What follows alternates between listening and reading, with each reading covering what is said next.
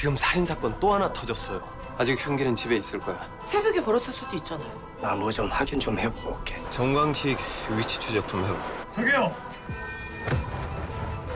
이러면 또 의심을 안 할 수가 없지.